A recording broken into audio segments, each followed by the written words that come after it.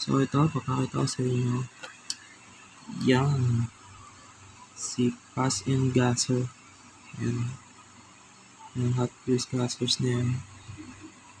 Yan. Nakuha lang din natin siya sa May 7-Eleven. Yan. Kasi meron na tayong dalawa nito. Bali, parang mabuo na natin yung ano niya. Yung 5x5 na yan. Para mabuo na natin yan. May dalawa pa tayo. Bali, tatlo na sila ngayon. So, may hahanapin pa tayo na dalawa. Ito. Yan, isa na yan. Sakit ng isa na yan. Yan. Yan na lang yung kulang natin. So, hahanapin natin yan.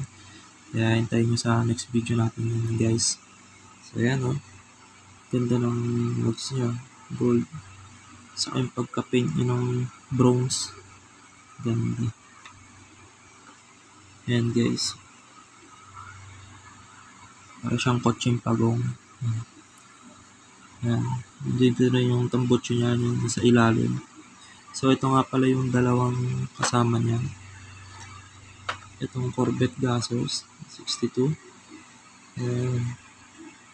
Ito, stick din to. Word na to. eh. Ayan. Ganda rin yung look. Ayan, may pipe din yan dyan sa ilalim. Ayan. Yung pipe niya. Kaya parehas yan. At least gasers.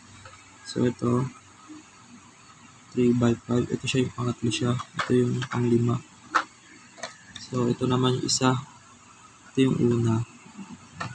May isa pang kulay ito. Color yellow. Dalawang kulay ito. Yan, Chevy Bel Air Gasol. Yan. Ganda rin ang mga ano niya. Yan. Stick din ang kulay niya. Matte sky blue. Tapos violet yung ano niya. Yung pinaka-tint ng salamin. Yan. So, hanapin na pa natin yung dalawa na ito para makompleto na natin siya. Um, yung tatlo na tayo na yung Hot Wheels Gassers.